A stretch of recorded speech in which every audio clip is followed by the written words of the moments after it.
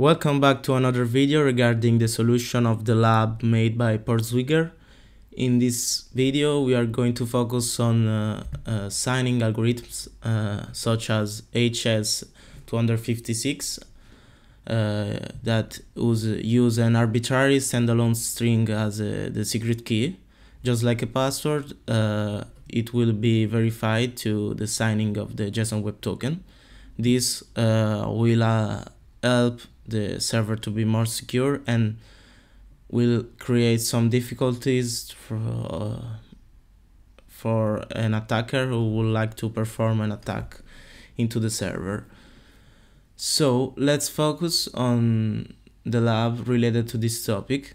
Uh, as you can see, uh, if you read all this section, you will get an hint to how to exploit this server using Gashcat because in this case uh, there is a flow inside the server uh, because it it's it's using a normal secret key a default secret key a default one so uh, we will use a word list uh, available on github uh, and using Hashcat to find out the secret key, the current secret key. In this case, the solution that I will perform is external from Burp but you can use both. In this case, I want to use the JSON site, where is an editor online in which you can set uh, your your token, manage your token, your cookie uh, in a most fast way without using external program. If you know what you want to do so uh, as you can see here, there is the first cookie generated when you try to access the session.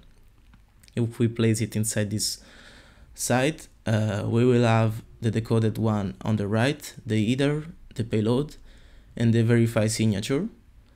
We change the sub in administrator and as you can see we have the last section where you we need to add the secret key.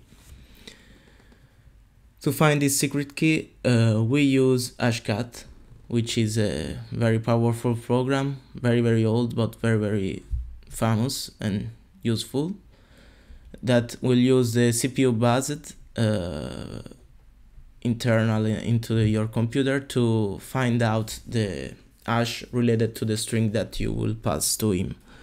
In this case, I will use the dash zero option which indicates the straight option and dash m 16500 which indicates uh, the uh, algorithm used from the hash in this case uh, is JSON web token as you can see we place the JSON web token as the first parameter and after uh, we have to place the word list a common word list I have already downloaded this list into the computer, so uh, I put my own path to get the file that I previously downloaded and I run the command.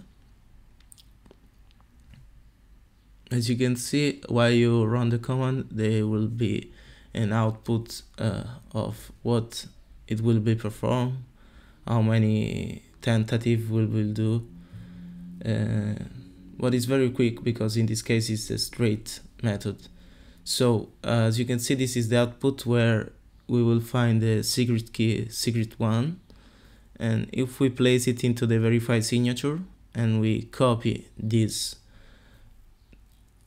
string and we place it into the storage cookie session now we can perform all the action made from an administrator and go to visit the admin panel and delete the user Carlos. This will solve the lab. Stay tuned for other video of the lab. See you in the future.